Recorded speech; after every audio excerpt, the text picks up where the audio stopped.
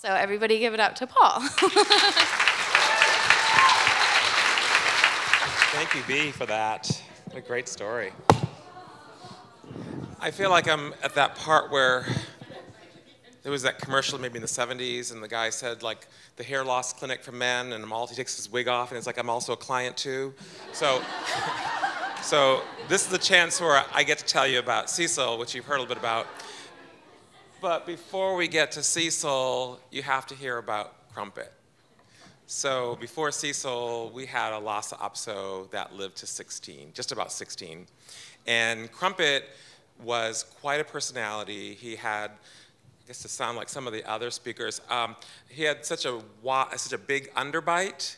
Uh, it was like the biggest uh, underbite like west of the Mississippi. It was huge. he would scare small children.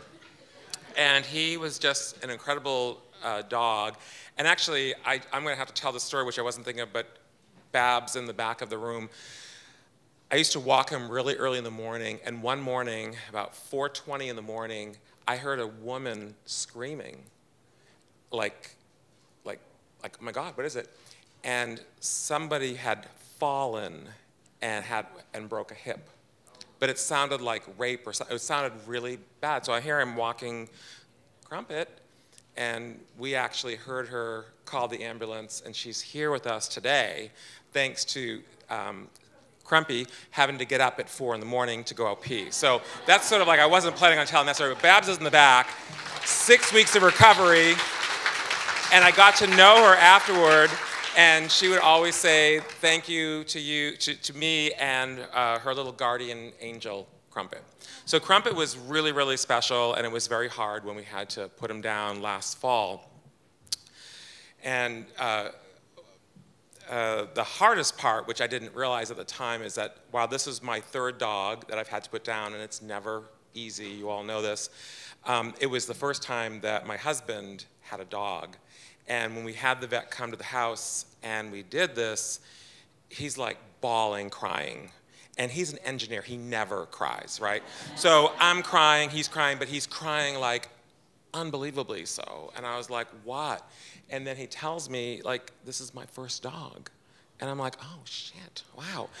And then he says to me, because the dog kind of clung to him more, and then he says to me, I hope Crumpet knew, know, knew how much I loved him. I'm like, of course he does, you know? And he says, yeah, but he picked me over you. And yeah. Great, yeah, thanks, okay. Cry some more. So it was really, really hard for us to say goodbye. And then we started talking about like maybe in the future we'd get another dog. And he'd say to me, What kind of dog? And we're not ready. But we were both online looking at dogs. And I said, I think I want like a medium sized dog because I've always had these small dogs before. And the last dog was a male, so I think I want a female dog, maybe like a Labradoodle or a Golden Doodle. And so I'm like, Okay. And then all of a sudden I'm online, and then there's Cecil.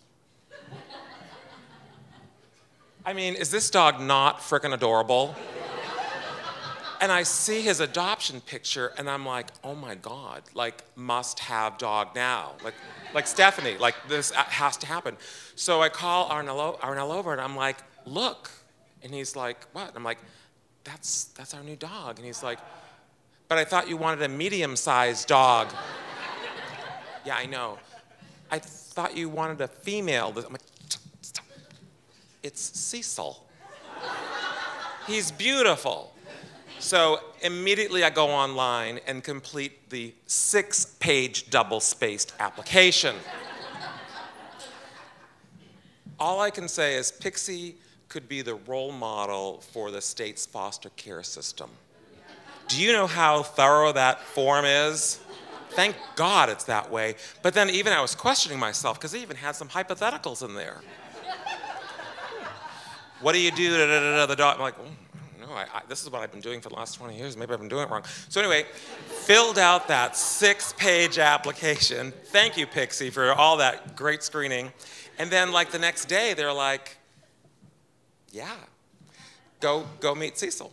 And so I was like, oh my God, like what if he doesn't like us? And so we go to B's home, and it was just like this magical thing And then we're like, okay, we're gonna do like a two week trial thing.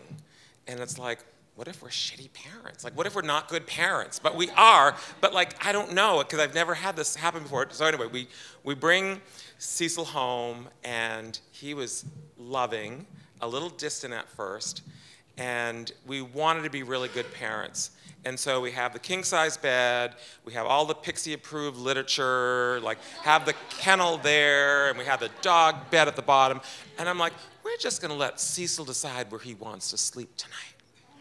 So Cecil comes up and he's on the bed, and most of my experience with Lhasas is there at the end of the bed. And he's kind of at knee level between us.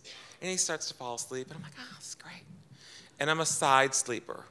And during a deep sleep, I'm laying on one side, I feel this weird, wet, very, very, very wet sensation on my hand. And I don't open my eyes, but I kind of know what it is, and I want to, I have this urge like, ugh, it's so gross. Cecil is licking my hand. He is licking every inch of my fingers. And especially like that webby part in between it kind of tickles and it's like, ooh. And it's very, very wet. Very wet. And I'm laying there and I'm like, this is so gross. But I love him. And, and he just was like, Arnell says he's like ministering to me. So, like, he's ministering to my hand, and then I hear this little sigh, and he falls asleep by my hand. And it's like, oh my God, like, I love this dog. And the other surprise for us is like everything that I thought I knew about Lhasas, Cecil does everything different. The two Lhasas I've had before, when you throw something to play fetch, they're like, you get that yourself. I ain't picking that up. Cecil loves to play fetch. And B told me that. She's like, Cecil loves to play fetch. He even gets the toy and throws it up in the air. I'm like, I don't believe that. He does. He loves playing fetch. So there's like that aspect of him. And then when we first got him, uh, we live in an older home, 1915, and it's not like OSHA approved, probably like the steps really, really high, and this dog is really tiny. So he couldn't go up the steps, so we have to carry him. So Arnell got these little treads through Amazon. We just glued them down, and we would watch him just like a puppy. He's figured that out. So he's got like, he's got complete like access to the home. Then what happens is I'm more like the stay at home dad, and then Arnell goes off to work every day. Cecil starts getting a little possessive. And so when Arnell would come close, he'd be like, 12 pounds of I'm gonna kick your ass, right? so, but it got to be a problem. Like, I, I don't know how to manage that behavior. And here's the thing about Pixie Project, which I now know and love when Pixie Project says that they help find a forever home, they really mean a forever home. Do you know what I mean? And so I called Pixie Project and said, I don't know what I don't know about this behavior. And they're like, oh, no problem. We'll call Denise, the behaviorist. Denise has already worked with Cecil when Cecil was at B's. And also, Denise worked with Cecil when he first came into the shelter. So Denise came in an afternoon with this little bag of treats. Boy, if I had just known it was that easy. Lots of little treats, but it was the behavior modification, and everything is so positive. And that one visit helped incredibly with the behavior. And every single night, I'm proud to say that Arnell trains him, but it's more like a game. And being an, a logical engineer, he has this little thing that goes out with a red ball on the end target, target, target. It's like I'm living with the behavior. So like Cecil's like, his confidence level has just grown so much. He's like, ah. But here's the other thing about Cecil. I don't know if we have a picture. Um, well, actually, I like the one between the, the, the railing there. So Cecil doesn't like to go for walks, especially when it's wet out even when it's not. So you go outside and he'll just stare at you, kind of like the other dog when you want to go play fetch, just like, I don't know. He'll just, he just does not enjoy walking. So I had this idea one day. I said to Arnell, I think we should get him a baby stroller and see what happens. No. I don't want to be two guys with a baby stroller with a dog in it.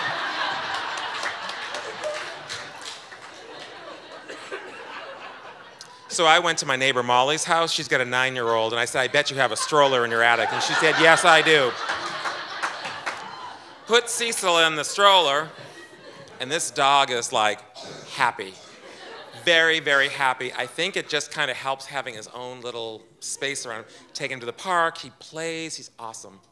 But then this one up here says, that's kind of like tore up. Like that's old and dusty and it's, it's kind of ragged and it's been up in cobwebs and stuff.